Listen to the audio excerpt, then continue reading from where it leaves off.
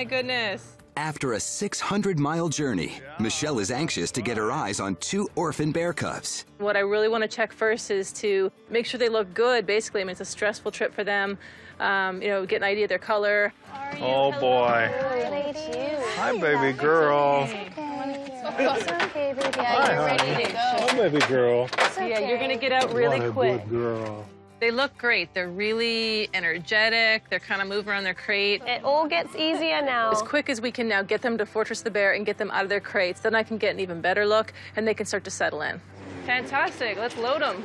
They really have had a tough start. They've had to be, you know, caught, put in at the Alaska Zoo, you know, moved to the clinic to be spayed, moved back, now moved here on a plane. But the end is in sight now. Now for the final leg of their journey. Okay, babies.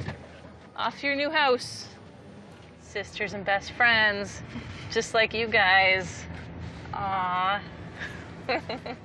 it's really lucky they were able to come to Fortress of the Bear. They're going to have huge enclosures, tons of enrichment, All right, we're here. both with training and interacting with other bears, and with the opportunity to chase salmon and do a lot of normal bear behaviors.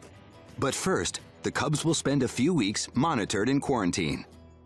Nice. Nice little space for their Oh, quarantine. perfect. We have the option to open this up, so Oh, so they've they got can little go outdoor clean. space. We can shift them out to clean. Nice. And how long's their quarantine? 30, days. 30 days. Yeah, Perfect. 30 days, and then we'll be building them a new space during that time, and then they'll have access to the big paddock. too. Right, right.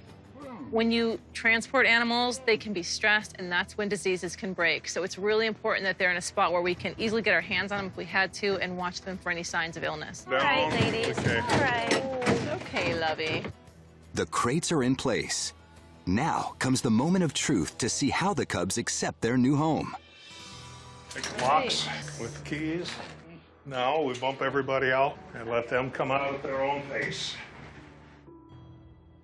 Good babies. One cub's out exploring. One was out first and then moving around, and as soon as that one disappeared, the other one whipped around like, where did you go? Oh, they're both out now. You can see they really depend on each other, and that's good. They can go through it together.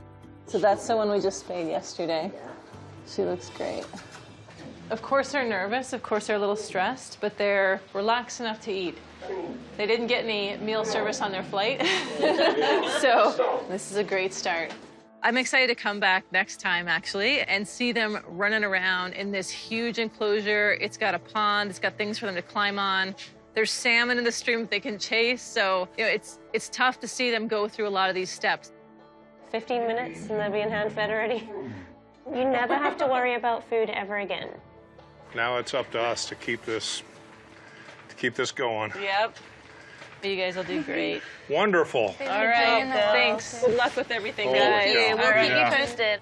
All right, girls. Welcome home.